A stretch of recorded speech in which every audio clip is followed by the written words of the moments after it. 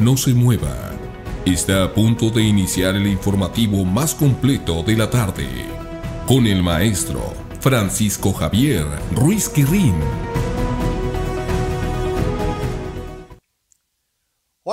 Muy, pero muy buenas tardes. Qué gusto saludarles en una edición más de este espacio de primera mano, este programa que conduce el maestro Francisco Javier Ruiz Quirrín. Usted ya lo sabe, estamos aquí todos los viernes para compartir con ustedes la información más importante y además todo este año lo tenemos acostumbrado a la mesa de análisis de primera plana que le ofrecemos todas las semanas aquí un servidor Antonio López Moreno y mis compañeros de TVD primera plana. Quiero darles la bienvenida a este programa de 2 a 3 de la tarde. Vamos a estar con ustedes compartiendo el análisis y la información de las últimas 24 horas. Gracias por estar conectados, gracias por estar disponibles y confiar aquí en nuestra información. Yo los invito desde luego a que nos sigan Estamos completamente en vivo en nuestro canal de YouTube, en donde le pedimos de la manera más atenta que nos ayuden a suscribirse pónganle like en la campanita y usted va a recibir de manera instantánea todo el contenido. Suscríbanse al canal, pónganle like y usted va eh, a formar parte de nuestra gran familia de TVD primera plana. Estamos también en nuestra transmisión de Facebook, estamos con esta transmisión habilitada completamente en vivo para usted. Si usted comparte esto en su muro de Facebook, si usted comparte este link a través de los grupos de difusión de WhatsApp, si usted lo comparte con sus vecinos, en el grupo de su familia, sin lugar a dudas nos va a ayudar muchísimo a seguir formando más comunidad. Estamos como TVD Primera Plana para que sigan de manera, de manera en vivo toda nuestra información. En Twitter estamos como arroba TVD Primera Plana, al igual que nuestra cuenta de Instagram y en TikTok, en donde pues hay contenido muy, muy original eh, para todos ustedes. Eh, no puedo dejar de eh, mencionar que estamos también en nuestra página de internet www.primeraplanadigital.com.mx. Allí también pueden consultar la versión digital del semanario Primera Plana que esta semana llega con contenido muy revelador, contenido muy muy interesante para que usted tenga una lectura muy agradable este fin de semana. Así que iniciamos, hay bastante que comentar, bastante información, cualquier comentario que usted nos haga llegar a través de nuestras redes sociales, aquí le vamos a dar lectura y usted va a ser partícipe del análisis este, este día. Básicamente hay dos temas de los que queremos platicar con ustedes en el transcurso de este programa. Uno de ellos es la supremacía constitucional. Se aprobó esta reforma constitucional allá en el Congreso de la Unión. Esto mandata a los congresos locales a que se tenga que aprobar y el Congreso de Sonora fue de los primeros que levantó la mano. Hubo una sesión convocada de urgencia en el que 10 minutos antes los diputados se enteraron que tenían que eh, acudir a sesionar. Esto finalmente se aprobó, pero pues vamos a darle un repaso a lo que ha ocurrido con respecto a este tema. Y es que hay mucha gente que se pregunta de qué se trata, qué significa esto de supremacía constitucional y por qué eh, viene a colación hoy que Morena pues tiene una aplastante mayoría en el Congreso de la Unión y básicamente en todos los congresos locales. Esto eh, de manera aplastante se llevó a cabo esta votación en la que la oposición pues eh, únicamente quedó en dos o tres declaraciones de algunas personas, pero sin nada que pudieran hacer realmente ya en los hechos. Así que hablaremos sobre este tema, la supremacía constitucional, uno de los de las reformas que ha impulsado el gobierno de Claudia Sheinbaum y nosotros estaremos pues muy muy atentos de lo que se desprenda con respecto a esto. Eh, y otro tema que realmente es algo que ha estado en boca de todos, es un tema que usted y yo lo vivimos, lo reflejamos, lo registramos a diario y son los accidentes de tránsito, que lamentablemente se habla de un incremento hasta del 15% en comparación a años anteriores. Factores múltiples. Sabemos, uno de ellos es el aumento de vehículos del parque vehicular en la ciudad de Hermosillo, también se suman todos estos vehículos de procedencia extranjera que esperan ser parte de un proceso de regularización. Hay eh, pues bastante afluencia de automóviles en las calles de Hermosillo. Otro tema que aquí lo hemos comentado bastante es la falta de un transporte eficiente, eficaz eh, además digno, que pueda suplir esta necesidad de traslado en la capital sonorense. Vemos también el deterioro de algunas avenidas, eso también ha influido en que pues, los tiempos de espera, los tiempos de traslado sean realmente más extensos de lo normal, pero también hay una realidad y es el uso del teléfono celular cuando la gente va al volante. Eso es un tema que vale mucho la pena revisar, es un tema que usted y yo hemos estado registrando muchos accidentes en las calles y muchos de ellos se deben a la imprudencia de manejar con el teléfono celular, a la imprudencia de revisar mensajes, de revisar redes sociales cuando se están tras el volante. Y en este mismo sentido, yo le quiero decir que hoy eh, tenemos, tenemos programada una entrevista Hoy eh, nosotros eh, esperamos platicar más o menos a las 2.30 de la tarde.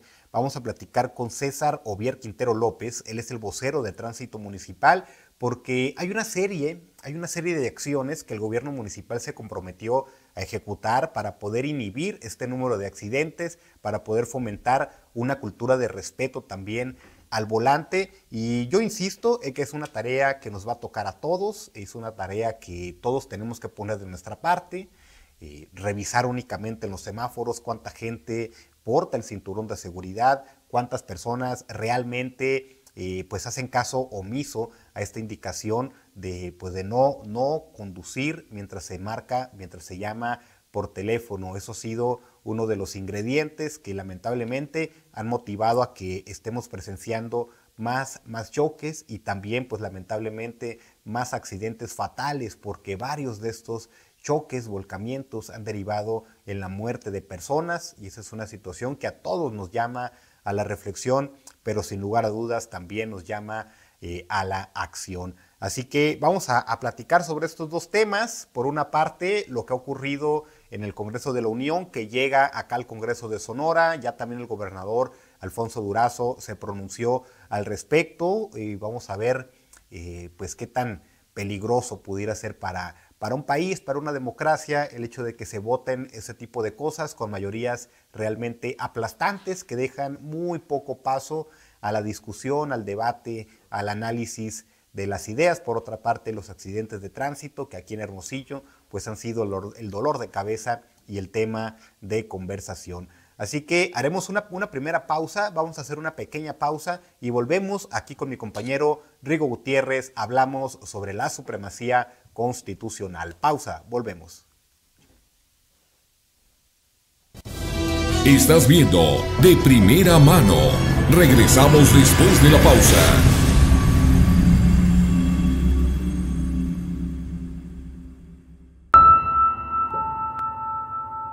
TVD Primera Plana, tu canal. Secure es una capa adicional de seguridad proporcionada por tu banco para tus transacciones en línea, las cuales requieren que ingreses una contraseña o un código numérico para autorizar el pago. ¿Cómo usar 3D Secure? Después de ingresar los detalles de tu tarjeta, se abrirá una pantalla emergente similar a esta, la cual contendrá logo de tu banco, nombre del comercio en el que estás comprando, importe de tu compra, fecha de tu compra, últimos cuatro dígitos de tu cuenta o tarjeta bancaria. Un espacio para ingresar el código que te enviará tu banco vía SMS o vía aplicación. Ingresa el código o contraseña y haz clic en enviar para autenticar el pago. Si no sabes tu contraseña o no has configurado 3D Secure en tu cuenta bancaria, por favor ponte en contacto con tu banco. ¡Y listo! Tu compra ha sido realizada con éxito y de una manera completamente segura. Sé positivo, sé diferente, sé Yupi.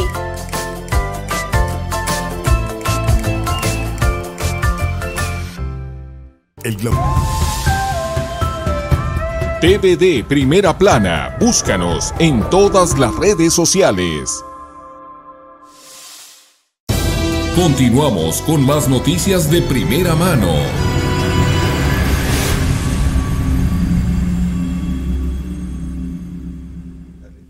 Ah, siempre.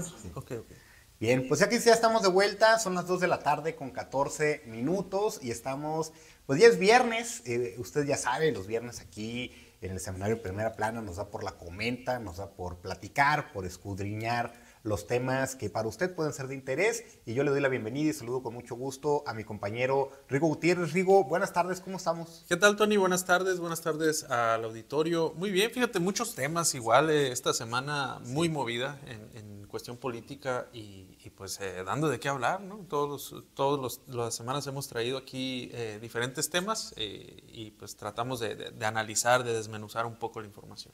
Oye, Río, pues eh, para sorpresa de algunos y para otros, pues no, realmente no les sorprendió tanto, es que eh, justamente esta semana, ahí en la Ciudad de México, en el Congreso de la Unión, eh, se votó algo que llamó la atención, ¿no? Y de hecho llama la atención desde el mismísimo nombre de esta reforma constitucional, que es la reforma a la de supremacía constitucional, un término que vale la pena analizar y y explicar, eh, pero para nosotros acá lo sorprendente no fue que allá se apuraran muchísimo en aprobarlo, sino que esto en un lapso menor de 24 horas, pues se requiere eh, la aprobación de los congresos locales y uno de los primerísimos congresos que levantó la mano fueron aquí los diputados de Sonora. así es. veíamos algunos diputados que se estaban quejando de que 10 minutos antes, 11 minutos antes les convocaban.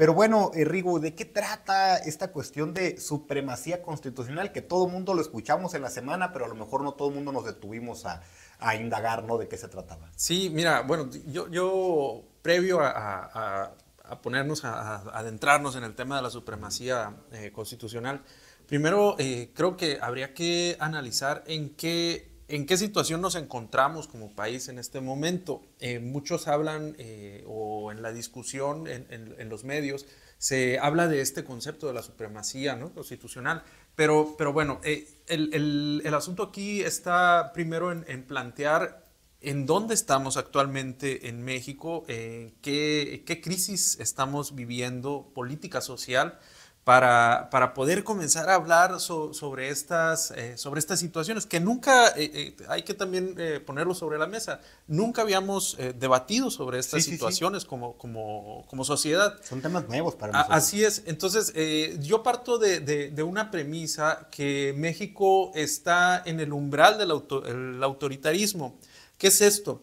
Estamos pasando de un, eh, como lo conocíamos, un, régimen eh, democrático, abierto, a un régimen autoritario, un régimen eh, político, un, Estado en donde, en donde todo es más cerrado, en donde el control se concentra en una sola persona. Y bueno, e, esto, esto a lo mejor algunos los agarra de sorpresa, ¿no? Pero esto es un hecho, es un hecho que, que lo estamos viviendo y hay varias señales, hay varias señales para, poder eh, aportar o para poder decir que, estamos viviendo en el umbral del autoritarismo. Primero, el control político. Si ustedes se dan cuenta, eh, está a la vista de todos, hay un grupo político eh, que dominantemente de izquierda, que llegó al poder en el 2018 con López Obrador y que ratificó eh, eh, su, estancia en el poder eh, recientemente con, la elección del 2024 con Claudia Sheinbaum y se configura con una mayoría de, diputados, una mayoría en la Cámara de Diputados y en el Senado. Este, esta aplastante mayoría le da esta fuerza de control, de control político en donde Evidentemente no hay diálogo. Por eso es que vemos estas situaciones, por eso es que vemos eh, estos, eh, los plan C que muchos les llamaron, que eran 20 propuestas, de las cuales han pasado sin moverle una coma. eso de entrada, ¿no? Esa, sería, digo, la primer señal de, una muestra de, autoritarismo en este, en este momento, ¿no?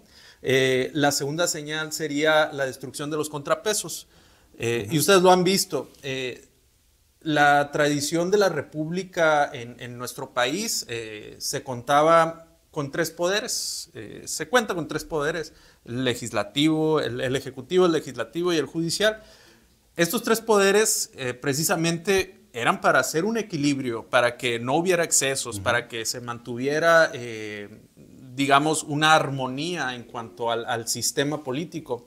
Y lo que hemos visto es que desde, desde el sexenio pasado eh, ha habido un, em, un continuo y sistemático asedio al, por ejemplo, al Poder Judicial eh, con, los, con, los, magistrados y que terminó eh, finalmente, o que lo hemos visto al final, con, con esta reforma al Poder Judicial que, que, pues pasó también igual, ¿no?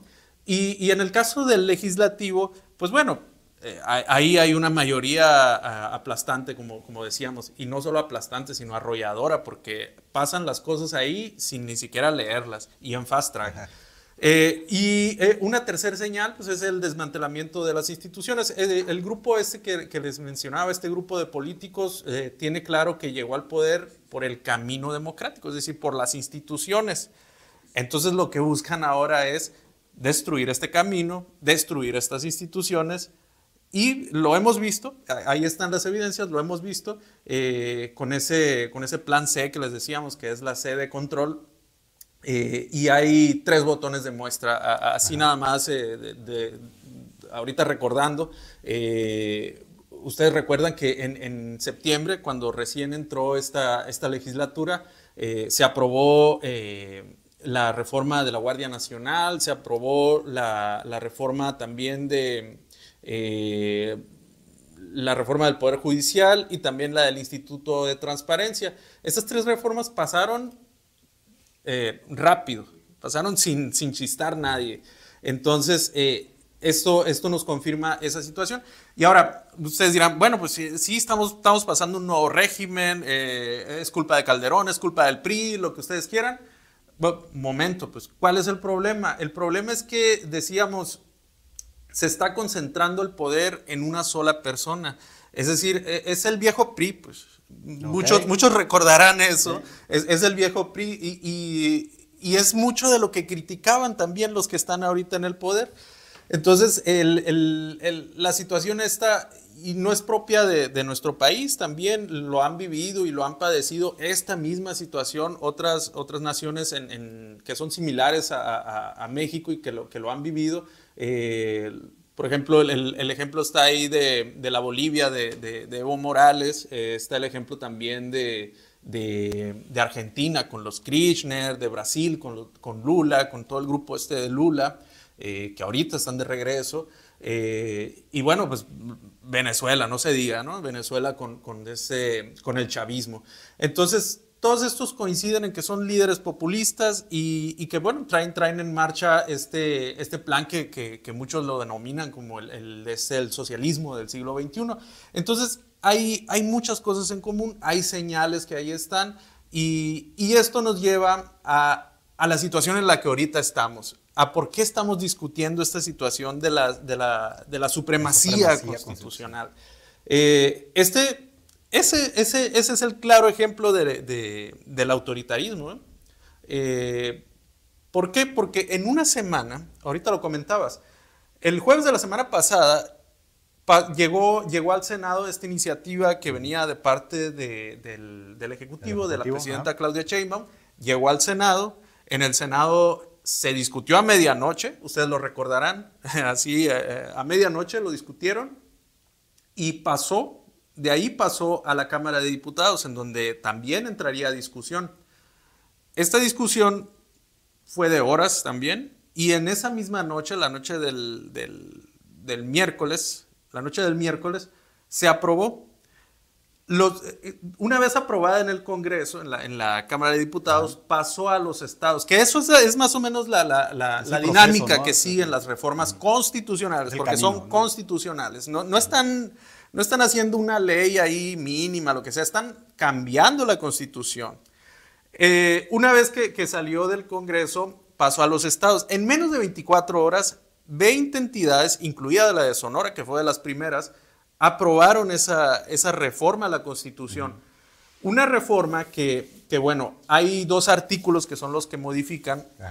El artículo 107 eh, y también el artículo 105 eh, que voy me voy a permitir leer, Tony. el artículo 105 le agregaron los diputados un quinto párrafo, bueno, es la iniciativa de la presidenta Sheinbaum, donde dice, son improcedentes las controversias constitucionales o acciones de constitucionalidad que tengan por objeto controvertir las adiciones o reformas a la Constitución. O sea, si alguien le va a hacer una, una reforma a la Constitución, pues bueno, no, no, no, no, no aplica. No, no. Bueno, si alguien tiene una controversia a, estas reformas, no aplica. La otra es, no procederá el juicio de amparo contra las adiciones o reformas a esta constitución, que, eran, eh, digamos, eh, para control, para control, ahorita decíamos los, los, contrapesos que puedan eh, existir entre, entre los tres poderes, para control de los excesos, precisamente los excesos que se pudieran dar. Entonces con esto mm, prácticamente eh, nadie puede cambiar eh, lo que diga el dedito de la presidenta. Ok. Y, bueno, ¿qué sabor de boca te dejó el, caminito que siguieron? Al final de cuentas creo que pues es una iniciativa que turna la presidenta, eh, tienen una mayoría aplastante, tienen la facultad, digamos, completamente legal de, impulsar el tipo de reformas que ellos así lo, lo decidan, pero a lo mejor en, donde pues sí meten tantito la pata es en el cómo, ¿no? Porque de repente eh, sin parlamento, ahora sí que el parlamento abierto sí, sí, no, no, existe eso. prácticamente un mito. Diez minutos antes dicen los diputados aquí que le citan para aprobar una reforma a la Constitución. Es decir, me da la impresión de que muchas veces ni los diputados, ni sus asesores, ni la gente que está de lleno en, lo que nosotros llamamos el círculo rojo, sabían de esta reforma y aún así se termina aprobando. Eh, ¿qué, es lo que opinas de este caminito? Porque creo que ahí es donde está el detalle, ¿no? En sí, esta ocasión, sí, se, se, comentaba mucho de que, bueno, en política pues tienes que guardar las formas. Eh, bueno, en este caso ni formas ni fondo. Eh. Aquí se fueron con todo y directamente a hacer los cambios a la Constitución. Y es cierto, hay, muchos, eh, digamos, mecanismos que tendrían que haber utilizado o que tendrían que utilizar los diputados para hacer unas reformas de este tipo y que no se, que no se usaron, que, los dejaron de lado. Y entrando eh, nada más uno, uno, de, los, de los factores ahí, el diálogo. no existe diálogo.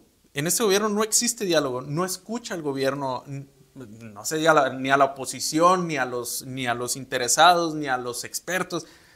Es un gobierno cerrado, como decíamos. Entonces también esto, esto nos está dando eh, un poco de idea de cómo están haciendo las cosas sin formas ni fondos y sin escuchar. Y hay un grave problema por lo, o riesgo, un riesgo muy grande, por lo que también pudieran hacer más adelante que bueno, ya, ya es bastante esto, ¿no? Y, aquí la, cuestión o la siguiente pregunta es, oye, ¿y la gente qué está haciendo?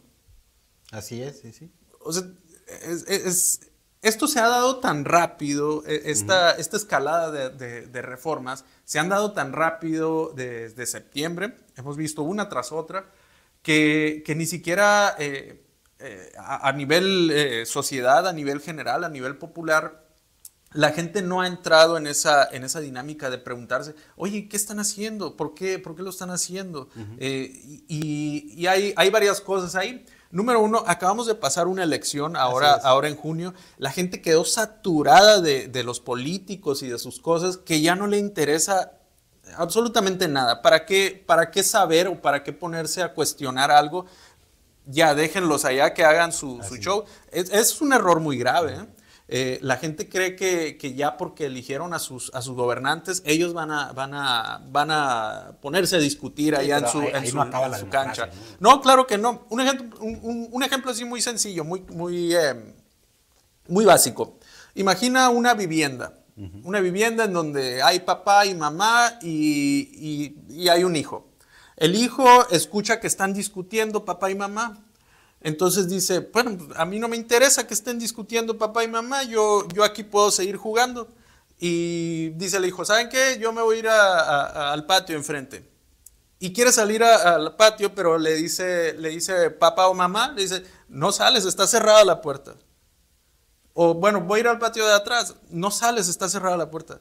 Entonces, aunque, aunque crean que no hay eh, un impacto social o con este, con este ejemplo así muy, ah, muy, muy infantil tal vez, eh, pero sí hay un ejemplo, perdón, sí hay un impacto porque todos vivimos en la misma casa.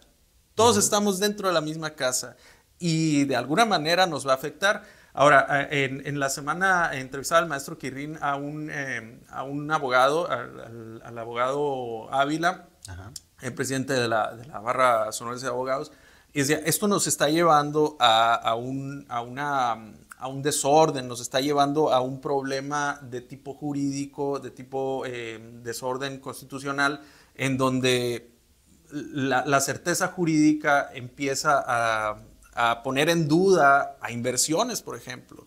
Eh, la gente, imaginen, imaginen cómo, eh, cómo nos ve la comunidad internacional si ni siquiera un presidente o una presidenta en este caso eh, acata las órdenes de la Constitución. ¿Qué garantía le puede dar eso a una inversión de alguna compañía automotriz o alguna otra compañía? Oye, pues si ni siquiera tus autoridades respetan la Constitución, no, pues mejor no invierto ahí. Está poniendo en riesgo su capital.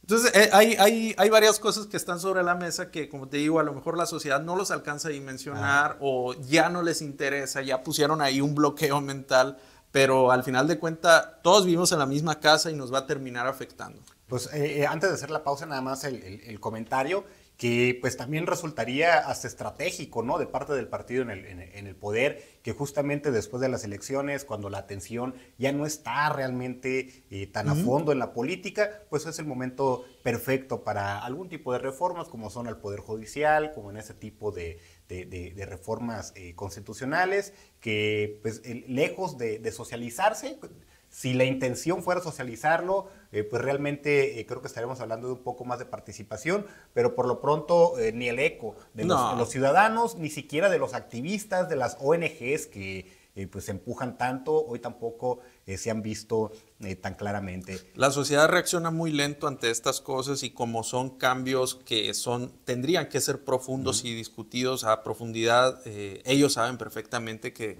si lo hacen así de manera rápida, eh, no va a haber quien se oponga. Así es. Y aparte, y otra es la oposición que está haciendo. No hay oposición. No, pues es que el, PRI está agarrado por un tema, el PAN está por otro tema, el PRD intentando revivir, eh, MC pues viendo a ver qué, qué, le conviene más. Y al final de cuentas eh, quienes gana es el poder y quienes pierden pues son los ciudadanos, Rigo. Ojo, porque ahí va de por medio todos nuestros derechos, todas nuestras libertades y, pues bueno, nadie, nadie está saliendo en defensa nuestra. Y los derechos de los políticos, estos de, oposición, que pues tampoco son, son Ellos, ellos nada más ven por sus propios intereses, ¿no? Así es. Pero bueno, Rigo, si te parece, hacemos una pausa y volvemos, vamos a platicar con el oficial de tránsito sobre otro problema aquí en Hermosillo, que son los crecientes accidentes viales en la ciudad.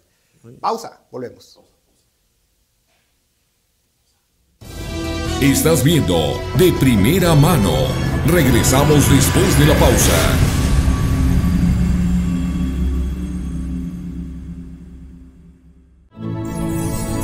DVD Primera Plana, tu canal. En Office Market tenemos el catálogo de tecnología más extenso a nivel nacional, con más de 5.000 artículos de las mejores marcas, donde encontrarás desde una memoria USB hasta una computadora. Visítanos en Boulevard Luis Donaldo Colosio 158, al interior de Plaza Universidad. Office Market, lo mejor en tecnología. En Hermosillo, dando y dando. Durante todo octubre, trae un donativo para ayudar a quien más lo necesita y recibe un 100% de descuento en recargos y otro 50% en la base de multas de tránsito. Acércate al módulo de tesorería en Veracruz y Reyes con un kilo de frijol y arroz o una cobija para hacer válida la promoción. Para más información, visita las redes sociales del ayuntamiento o ingresa a hermosillo.gov.mx. Con tu apoyo y confianza, ganamos todos. Ayuntamiento de Hermosillo. El cáncer de mama detectado a tiempo puede ser curable. A partir de los 20 años, autoexplora tus mamas una vez al mes. A partir de los 25, acude una vez al año para que un profesional de la salud revise tus mamas. Y a partir de los 40, realiza tu mastografía cada dos años. Acude a tu unidad médica más cercana. El servicio es gratuito.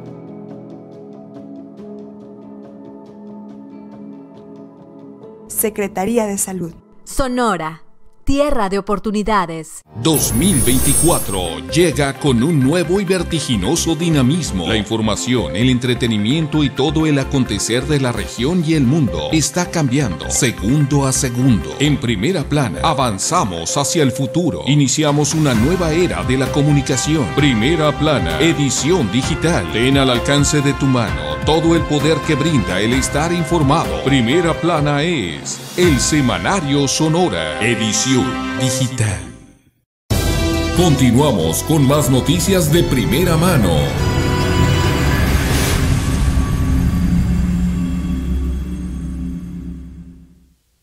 Pues ya son las 2 de la tarde con 34 minutos, 2 de la tarde con 34 minutos. Gracias por estar en la sintonía de TVD Primera Plana. Yo los invito desde luego a que visiten nuestros canales de comunicación. Estamos en nuestro canal de YouTube como TVD Primera Plana. Suscríbase, póngale like a la campanita, reciba de manera instantánea el contenido que eh, de manera pues muy profesional realizamos todos los días para ustedes desde esta casa informativa. Síganos en Facebook, tenemos habilitada nuestra transmisión en vivo para que lo compartan eh, tanto en su muro de Facebook, en sus grupos de WhatsApp, con sus compañeros de trabajo, con sus familiares. Nos harán un gran favor. Estamos también a través de X antes Twitter en arroba TV de primera plana y en Instagram estamos también en TikTok con todo este contenido muy original para todos ustedes. Estamos platicando acerca de la supremacía constitucional, un tema que pues, va a dar mucho de qué platicar, es un tema que vale mucho la pena detenerse para poder abundar en el análisis sobre esos asuntos. Y pasamos con otro tema, Enrico, que también ha sido pues, de, mucho interés y ha ocupado parte de la conversación esta semana, que son los crecientes accidentes, eh, de tránsito. Por ahí tenemos eh, un grupo de WhatsApp aquí en la, en la redacción del periódico Primera Plana y varias veces por semana nos topamos con que muchas veces sin buscar la nota, simplemente en las actividades cotidianas nos encontramos con algún choque. Hoy en la mañana, por ejemplo, me tocó presenciar dos. Hemos visto volcamientos, hemos visto eh, accidentes fatales, también muy lamentable eh, esto que ocurre. Y, esto es por eh, diversos factores que más adelante nos va a platicar el oficial de, de tránsito. Pero pues bueno, eh, complicada la situación a veces en las calles, sobre todo en las horas picos, ¿no, Río? Sí, eh, ahí, la, situación y que, hemos visto muy, muy lamentable es que incluso ya se ven este tipo de accidentes aparatosos como volcamientos. Algo que, digo, los choques por alcance era de lo común, ¿no? de, lo común, eh, pero volcamientos, entonces hay... hay hay algo ahí ya de, mayor preocupación que tienen que ver muchos factores, eh, desde el exceso de velocidad, desde los teléfonos, eh, los distractores. Eh, entonces hay, hay muchos, muchos elementos ahí en, medio de, esto que, que, pues bueno, algo, algo está pasando en la sociedad, eh, como también lo decíamos la vez pasada, hay muchos carros eh, y, las, vialidades siguen siendo las mismas en Hermosillo, eh, no crecen ni en, ni en extensión ni nada y pues los semáforos ahí siguen, aunque muchas veces no, hay, no hay respeto incluso a, los semáforos o a los dispositivos o a los, a los, saltos estos de cortesía y también ahí es donde se dan estos accidentes. Entonces hay, hay mm, algunos focos rojos, digamos, ahí como, como elementos que, tendríamos que revisar individualmente, ¿no? Para, para ver eh, por qué se están dando tantos choques, tantos accidentes eh, viales en la ciudad. Así es. Eh, bueno, y hemos platicado sobre algunos de los factores, y tenemos creo que también ya varias semanas abundando sobre ese tema. Uno de ellos es el que es innegable, ¿no? Y, creo que aquí es un coscorrón para la ciudadanía en, en su conjunto, que es el uso del teléfono celular cuando se va al volante. Es algo que por más que se insista, por más que, se menciona, se reitera. Este tenemos adicción al teléfono, a los WhatsApp. Lo más grave que, me ha tocado ver así en eso es ir texteando, sí. Eh, eh, porque me ha tocado verlos, eh, ir ver personas que van haciendo su, su mensaje de texto y manejando a la vez. Oigan, pues sí, eso ya de plano, hombre, de plano, ya es demasiado. Así es. Y para hablar sobre este tema, está en la línea telefónica y le agradecemos muchísimo la comunicación al vocero de tránsito municipal, el oficial César Ovier Quintero López. Lo saludamos con mucho gusto. Oficial, muy buenas tardes. ¿Qué tal? Muy buenas tardes. Muchas gracias por la invitación al espacio. Es un gusto acompañarles.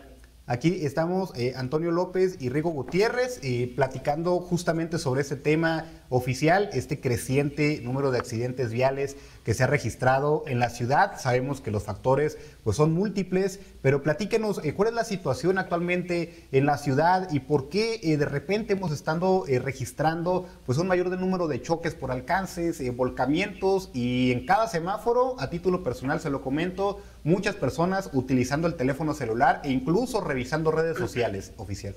Mira, es un mal hábito que tenemos demasiado, demasiado arraigado y que yo sé que no será fácil eh, erradicarlo, pero al menos durante ese corto lapso de tiempo que estamos transitando en la vía pública, trasladándonos del punto A al punto B, aprendamos a dejar de lado lo que es los distractores, empezando por el teléfono.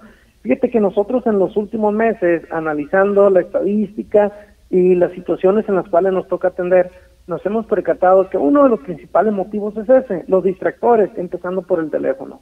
A eso le hemos sumado eh, el exceso en los límites de velocidad y se convierte en un factor detonante que no hemos podido reducir a menos de 35 siniestros viales por semana.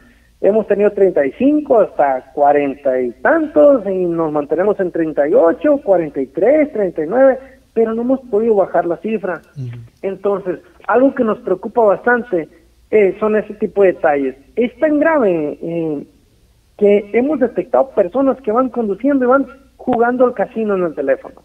¿Van jugando qué? ¿Quieres que me casino. ¿Casino? Al casino, otro nivel de ¿Quieres que me digas? Es que oficial, fíjate que eh, una emergencia con mi esposa o era algo laboral o un, problema con mi hijo. No, ni siquiera eso. Que igual eh, no se justifica, pues, pero de alguna forma el criterio es entendible. Así es. No sé si me explico. Pero una persona que va texteando, que va checando las redes sociales como los estados de WhatsApp, las historias de las diferentes redes, que va jugando al casino, pues caramba, es un problema bastante grave. ¿Cómo hacerle, oficial, cómo, cómo hacerle para, o qué estrategias están ustedes implementando para hacerle entender a la gente que le, que le caiga el 20 de que esto es... Eh, eh, no solo peligroso, sino fatal puede resultar para, para, alguien que va, que va usando, por ejemplo, el teléfono mientras va manejando. Mira, el miércoles pasado, en una capacitación, yo aplicaba una, una dinámica para ver si así así entender a la gente. Les decía, aquí donde estás sentado, cuando yo te diga ya, saca tu teléfono desde donde lo tienes y desbloquealo. Y activa el cronómetro. La persona más rápida en desbloquearlo tardó 5 segundos. La persona más lenta fueron casi 17 segundos. Y yo les comentaba, en esos 5 segundos, le digo, aquí donde estás sentado, ¿qué te preocupa? No, pues nada. Ok, y cuando estás ahí en la calle, digo, ¿haces bloqueo el teléfono mientras conduces? Sí. Digo, cuando vayas en un bulevar a 60 kilómetros por hora, cuenta 5 segundos y ve qué tanto avanzas hacia enfrente. Va a ser aproximadamente, le digo, unos 40 metros o más. Ahora, si en 5 segundos avanzas eso, compara la distancia del vehículo que llevas de lado y probablemente va a ser 2 metros y medio, cuando mucho 3 metros si avanzas más de 40 hacia enfrente, ¿cuánto tiempo crees que tardas en pegarle al carro al lado? a la torre. Pues para que dimensiones el riesgo mientras estás conduciendo. Digo, ¿por qué creen que nosotros llegamos a atender los choques? Y está el vehículo estampado en un árbol del camellón central, el vehículo volcado, eh, con un poste de comisión en el semáforo, y cuando nos entrevistamos con los conductores, les preguntamos qué fue lo que pasó y ni siquiera nos saben decir qué pasó es porque van enfocados en el teléfono y no en la conducción. Sí. son, metros que van a ciegas, ¿no? Así es.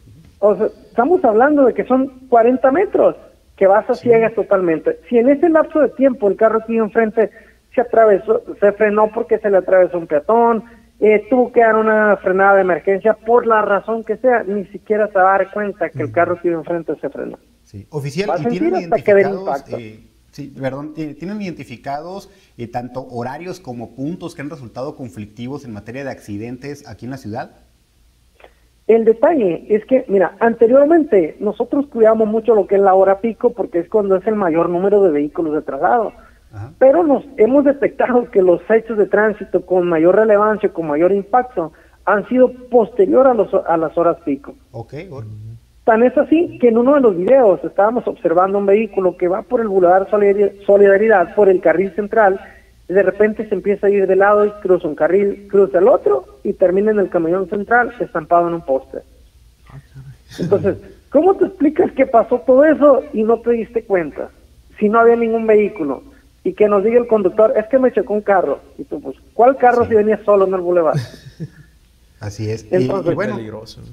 Esta semana eh, platicamos con el presidente municipal, con Antonio Estezarán, justamente sobre este tema y, nos decían que incluso eh, tienen un plan ¿no? de reforzar la infraestructura en ciertos lugares de, la ciudad, en donde pues así se, se, requiere. Creo que hablaban de puntos conflictivos eh, de la ciudad. ¿Cuáles serían más o menos estos? Mira, nosotros tenemos identificados los cruceros donde suelen darse el mayor número de hechos de tránsito y uno de ellos es en Colosio y Solidaridad. Colosio y Solidaridad, ¿ok? Allá por el Bular Solidaridad y Progreso. También allá. Sobre la calle de López del Castillo, sobre la calle Monteverde, sobre la calle en Mendoza, eh, acá por el centro, sobre el Boulevard Rodríguez, sobre el Ignacio Soto, sobre el Boulevard Morelos, y ahí en la salida de la Colorada, salida sur, Camino del Ceri, Río Sonora. Entonces son los puntos en los cuales eh, mayor número de siniestros viales se nos dan constantemente. Pues, estamos hablando de, avenidas rápidas entonces, eh, oficial. Eh, ¿Tiene algo que ver aquí la velocidad a la que conducimos? Sí, es lo que te comentábamos al inicio. Son los distractores y le agregas velocidad. Imagínate, vas a 60 kilómetros por hora, que en realidad, cuando no es hora pico, nadie va a 60 kilómetros por hora. Vemos que la vialidad está desocupada y hemos detectado conductores que van a más de 100 kilómetros por hora. Imagínate en un bulevar a 100 kilómetros por hora y todavía texteando. Así es. Pues, Entonces, es un riesgo bastante elevado y es cuando se están suscitando los hechos de mayor relevancia. Entonces, ¿en qué consiste eh, el plan que estamos, en el cual estamos trabajando? En esos horarios, en esas vialidades, nosotros vamos a incrementar lo que es el patrullaje. Nos vamos a apoyar mucho con las, con las unidades motorizadas de, de tránsito, ya que las motos son un vehículo ágil y ligero, y vamos a estar muy al pendiente sobre estos temas. Igual vamos a estar compartiendo videos, posts con la finalidad de crear conciencia y hacer entender a los hermosillenses que en ese corto lapso de tiempo en el cual nos estamos trasladando, tenemos que dejar el teléfono de lado. Tenemos que minimizar los riesgos de los hechos de tránsito. Sí, oficial, y, creo que eh, vale mucho la pena también aquí la, pregunta, si nos pudiera recordar, mencionar cuál es la sanción eh, por conducir exceso de velocidad y también por conducir con el, con el celular en la mano. Eh, quizás esto también pues inhibe ¿no? ese tipo de conductas, aunque sabemos que son reiterados los llamados y simple y sencillamente no hacemos caso. ¿Cuál, cuál es la sanción? Ok, mira, eso, la, sanción por conducir en exceso de velocidad es 10 UMAS 10 UMAS, pero si reincides en infracción, el mismo sistema en automático ya te da las 20 UMAS, ya que las infracciones ahora son eh, ya no son manuales, son digitales mediante una aplicación. Pero en el momento en que tú estás conduciendo duplicando el límite de velocidad, estás conduciendo de manera negligente y temeraria, por lo tanto, en este caso ya no es nada más la infracción, sino que tendríamos que retener el vehículo e impedir que siga transitando. Imagínate un vehículo a 110, 120 kilómetros por hora en un bulevar o cuando se cometen dos infracciones graves vinculadas a un mismo acto. Un ejemplo, vas a exceso de velocidad y detectamos que vas con el teléfono en la mano, ya se juntaron las dos infracciones graves, por lo tanto, se da la conducción negligente y temeraria y tendríamos que detener tu vehículo pegándonos al 107 de la ley de tránsito. Okay. O sea, hay elementos para, para poder eh, detener el, el vehículo. Pues. Así es. Entonces, no nos interesa la detención de vehículos, no nos interesa estar aplique, aplique infracciones. Lo que queremos lograr es que todos entendamos que en ese lapso de tiempo tenemos que hacer un espacio seguro para todos los demás, porque no se trata nada más de mi conductor. En el momento en que me involucro en un siniestro vial, estoy involucrando a todos los que están a mi alrededor. Puede ser una familia completa que está conduciendo de manera responsable el, el piloto. Llego yo y le choco por ir con el teléfono en la mano y termino lesionando a toda una familia. Entonces, esa parte hay que entender. En el Departamento de Tránsito estamos preocupados por esa parte y es lo que estamos buscando, que sea un espacio seguro para todos, que no se trate nada más de, de un video y de una recomendación, sino que tú lo entiendas y que al momento de estar conduciendo en la vía pública lo realices de tal forma en que te sientas cómodo tú y los demás también. ¿Cuántos pero que no vayas a elementos, exceso eh, de velocidad exponiendo a todos los de tu alrededor. Oficial, ¿cuántos elementos cuenta en este momento el Departamento de Tránsito eh, en, en la ciudad? Somos poco más de 300 oficiales de tránsito dividido en seis zonas, en tres turnos por cada zona. No es suficiente, ¿no? El, el- el número de elementos para cubrir a toda la ciudad, ¿no? Pues somos poco más de un millón de, de habitantes en nuestra ciudad, unos 300 elementos, pues tenemos ahí una, una deficiencia en cuanto al, al estado de fuerza, pero tenemos que dar resultados y trabajamos eh, con lo que tenemos y pues te va- buscamos la colabora- colaboración de los hermosillenses. Le digo porque es una tarea muy grande y un reto muy importante el que tienen y, y necesario el que se involucre la sociedad en esto. Por supuesto, eh, siempre hemos buscado lograr esa proximidad social en el cual trabajamos en equipo y de esa forma pues mantener el espacio seguro para todos. De igual forma ustedes detectan eh, esta, una conducta similar, hagan el reporte al 911, al 072, a la- en la aplicación Hermosillo Gov y damos la atención de manera inmediata. Muy bien. Muy bien. Eh, oficial, ¿algo que, que le gustaría agregar antes de despedirnos? Pues agradecerles a ustedes la buena disponibilidad para ayudarnos a compartir información y recuerden que todas las medidas que aquí implementamos en el Departamento de Tránsito van solo con un objetivo, prevenir siniestros viales y que la vía pública sea un espacio seguro para todos. Muchas gracias. Bien, muchas gracias, oficial. A ustedes por la invitación, hasta la próxima. Eh, Buena tarde. Una pequeña pausa y volvemos. Estás viendo de primera mano. Regresamos después de la pausa.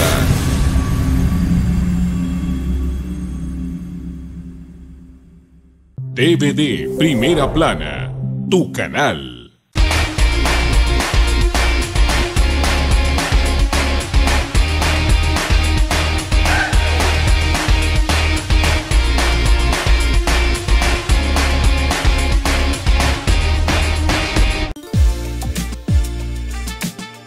Tu estación favorita del año ya está aquí. Finalmente es tiempo de disfrutar el verano.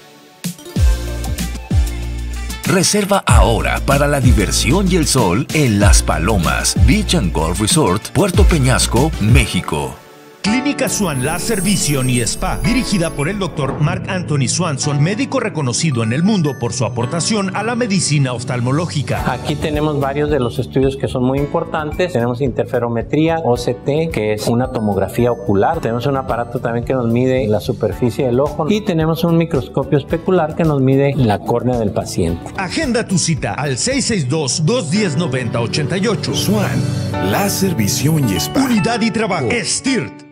En Hermosillo, dando y dando. Durante todo octubre, trae un donativo para ayudar a quien más lo necesita y recibe un 100% de descuento en recargos y otro 50% en la base de multas de tránsito. Acércate al módulo de tesorería en Veracruz y Reyes con un kilo de frijol y arroz o una cobija para hacer válida la promoción. Para más información, visita las redes sociales del ayuntamiento o ingresa a hermosillo.gov.mx. Con tu apoyo y confianza, ganamos todos. Ayuntamiento de Hermosillo.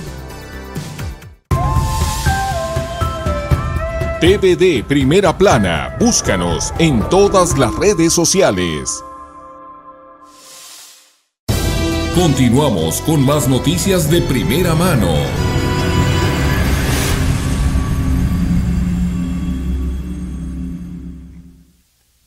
Dos de la tarde con 52 minutos, dos de la tarde con 52 eh, minutos, ya estamos de vuelta y en la recta final de este espacio de noticias. Platicábamos ahorita sobre ese tema de los accidentes viales y le queremos compartir un reporte que nos ha preparado Gerardo Moreno y es que el 14% de las muertes aquí en Sonora han sido trágicas y es que 14 de cada 100 muertes que han ocurrido en Sonora durante el 2023 ocurrieron de manera trágica, ya sea en algún accidente, en algún siniestro o de forma violenta. Escuchemos el reporte de Gerardo Moreno. Hola, ¿qué tal amigo Antonio López? Qué gusto saludarte a ti y al auditorio. Te quiero platicar que 14 de cada 100 muertes que ocurrieron en Sonora durante el 2023 fueron de manera trágica, ya sea en algún accidente o siniestro o de manera violenta, siendo más de 2.700 muertes con estas características, según los datos dados al conocer por el INEGI alrededor del Día de Muertos. Platicarte que durante el 2023 fallecieron en Sonora un total de 19.763 personas, lo que nos coloca en el lugar número 14 a nivel nacional entre los 32 estados con más muertes, donde la Ciudad de México lidera la lista con 96.202 fallecimientos. Además, Sonora tiene una tasa de mortalidad de 6.4 por cada 100.000 habitantes, ligeramente por encima de la media nacional, que es de 6.1.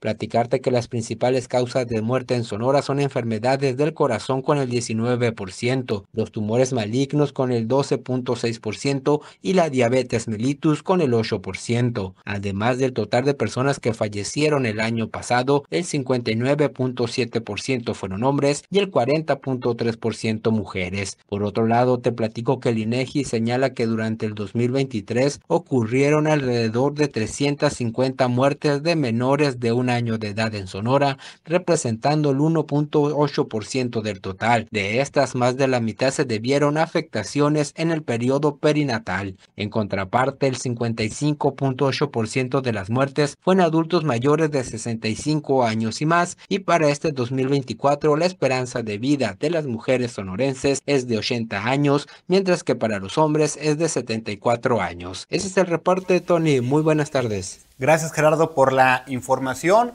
Y así estamos llegando al momento de despedirnos. Yo les quiero agradecer mucho la sintonía. Gracias por estar pendientes de nuestra información. Gracias al maestro Quirrín, gracias a nuestro equipo de producción, a Juan, a Jorge, a Rigo, a Erika, a todos los que hacen posible este programa. Yo soy Antonio López Moreno. Nos vemos y nos escuchamos el próximo viernes. Hasta luego.